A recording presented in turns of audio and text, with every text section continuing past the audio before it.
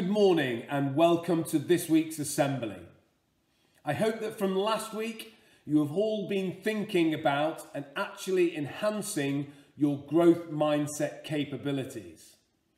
Please do ask your teachers, tutors, or myself if you need any further help or assistance with this concept. It's a really important part of what we do, and I really want you to think long and hard about this over the coming weeks. I have very much enjoyed seeing all of your drama clips as budding TV presenters. They were all extremely good, and you have clearly spent much time putting everything together. Well done to all who got involved. Please now look out for the slideshow recording that is a culmination of all your efforts. This week, Mr. and Mrs. Neal would like you to make things a little more physical they were both in the musical Mary Poppins in the West End, and they would like to teach you how to spell supercalifragilisticexpialidocious. That's a mouthful. But they're going to ask you to spell that with your bodies and then ask you to spell your own names.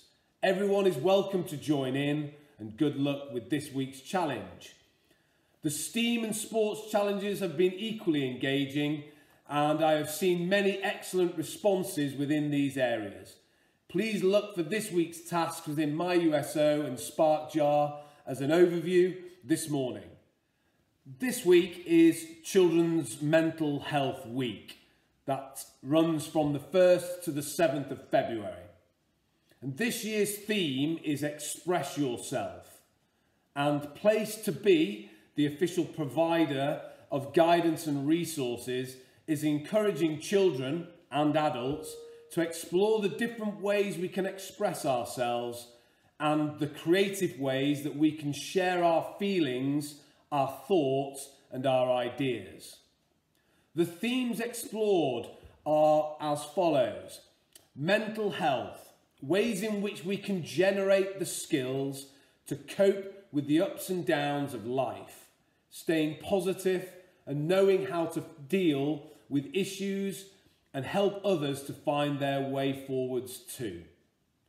The second element is friendship, the strength of friendship, and how expressing yourself to your friends can help you and others to maintain positive mental health and well-being. You are never alone, and a good friend is often the strength you need to help.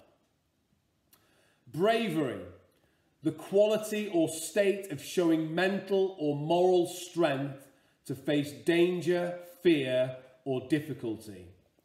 Our lives can involve these situations, and by expressing ourselves, you can be courageous and succeed, helping others to do the same. Learning. We all learn in different ways, and asking questions, seeking help, and expressing yourselves as you learn is very important to us all. We have things that we find easy and other things that we find hard, but the most important factor is that we share our weaknesses so we can get better and our strengths to help others and become more confident. And finally, growth mindset. As we discussed last week, if we can help you as children to understand how to develop a growth mindset, we give you a better chance of success. Growth mindset is, as its core, the theory of learning. Being open to feedback, persisting when things get a little bit hard, and having a sense of curiosity are all key components that will make you a better person in the wider areas of life. So, what does express yourself mean? Express yourself is about finding creative ways to share feelings, thoughts, or ideas through things like art, writing, music, dance, and doing things that make you feel good. For example, being able to express yourself is not about being the best at something or putting on a performance for others. It is about finding a way to show how you are feeling that can help you feel good about yourself. I hope you enjoy the following clip called Pond 5.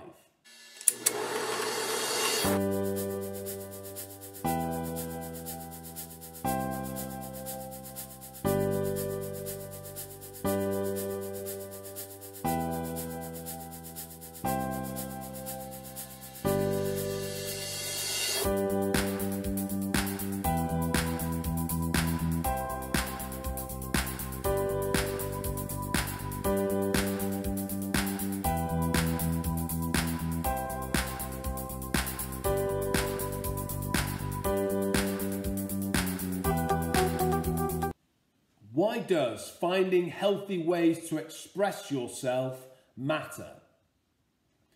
Finding healthy ways to express yourself creatively is one way of looking after our mental health.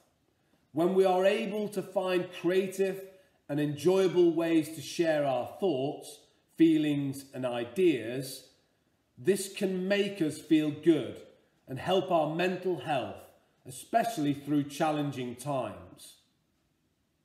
What is creative expression? The following clip will help you to understand what creative well-being is.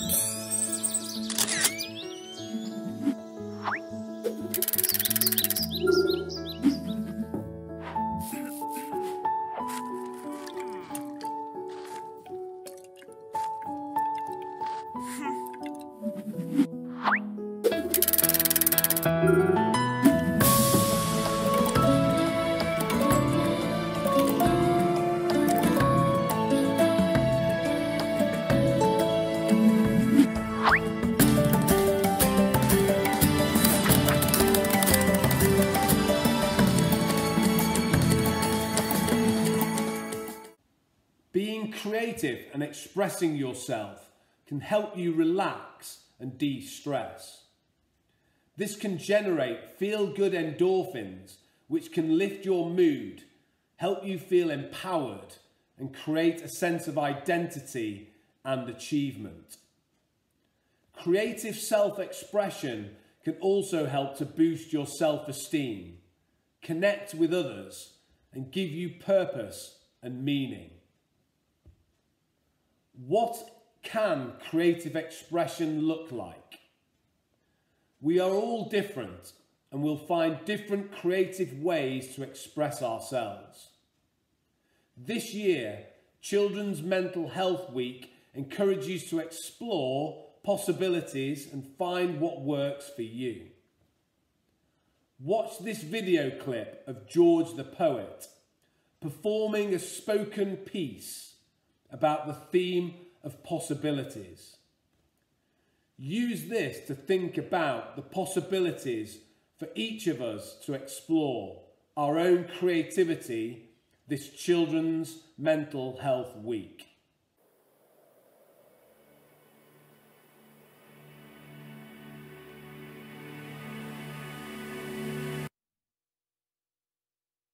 Impossible is a word people use to describe something they can't do. Sometimes they might want to be sadistic, sprinkle it with a dash of realistic, and say it's near enough impossible, nigh impossible. They'd like you to think you're lying in hospital for defying obstacles and trying not to fall, but their impossible isn't my impossible. There are no winners until someone's won it. You won't know what I'm capable of until I've done it.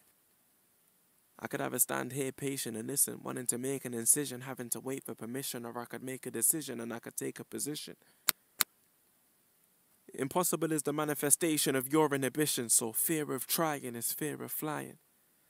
Your mind's racing and your heart isn't out to help. They're turning against you and you're starting to doubt yourself. The nights were cold and the mornings are rough. Now you're worrying about people calling your bluff, second guessing your ability and all of your stuff, but no, you alone is more than enough. This is the truth I saw before I went to sleep. I knew my time would come eventually, so I celebrate every test ever sent to me because what's about to be was meant to be. It's remarkable to try, but I can't afford to die. Knowing my ambition didn't kill me. Forget the voice of reason. Listen to the real me. No guts, no glory.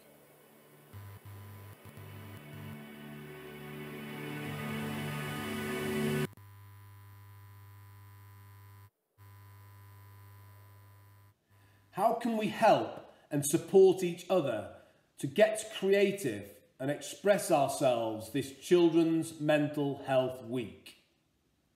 Finding healthy ways to express ourselves is one way of looking after our mental health and well-being. Explore your creativity. What sort of things could you become involved with? You could join in with the origami challenge to make a paper duck. For this challenge, you will need your own piece of paper.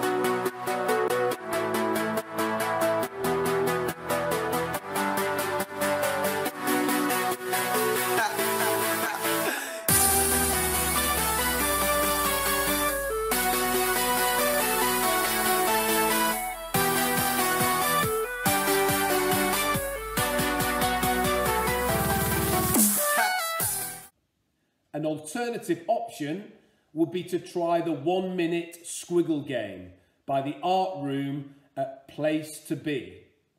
Please watch the following demonstration. Every year at Place2Be, we celebrate Children's Mental Health Week. This year's theme is Express Yourself. There are so many ways we can express ourselves creatively. Let's try something fun together. The Squiggle Game. All you need is a pen and paper and to squiggle. Then have a look at what you can spot in your squiggle. Can you turn it into something else? Let's turn this one into a little friend. You might see a face, an animal, a fantastical creature. You might even want to imagine what your friend might say to you. My panda's excited about expressing themselves creatively at Children's Mental Health Week, and I hope you are too.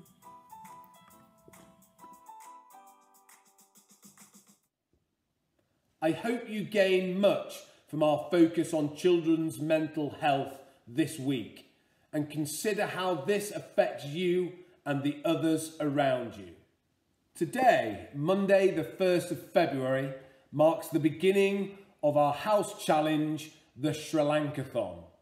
This is for all children from year 3 to 8 including staff associated with each house, to get involved with.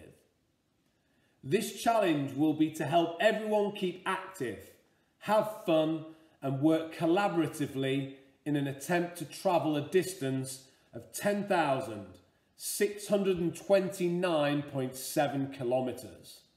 This is the distance from Hoe Bridge to Sri Lanka. This challenge will run alongside your daily sports programme. Following the tsunami on Boxing Day in 2004, many schools in Sri Lanka lost everything. We at Hoe Bridge sponsored a specific school and helped them to set up and replenish their school library. The House Sri Lankathon has been designed to encourage both individual and team endeavour to represent houses in covering the total distance. The competition element, which house will arrive first. The distance contributions can be covered by any activity. For example, running, walking, cycling, or counting steps from workouts, sports lessons, dance, and other physical activities that you can do. This challenge is fully inclusive and everyone can contribute and add value to it in their own way. You and house staff will be working as part of your house team to reach the goal. You and your house staff will be asked to record your distances by uploading your daily steps measured in kilometres onto their House Excel spreadsheet. Your achievements will be accumulated and tracked accordingly. As families, you will have access to this document to help upload results. Details associated with where to find this document and how to input details will be sent to you very soon. The results will be posted on social media and via the bulletin where you can view regular updates of how each house is progressing. There will be two checkpoints along the way for you to aim for en route. Sofia in Bulgaria and Tehran in Iran. This will help you track your journey before finally arriving in Sri Lanka.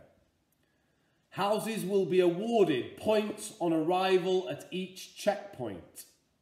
The house arriving in Sri Lanka first will gain the most points and will be awarded the House Active Endeavour Cup at the spring term prize giving.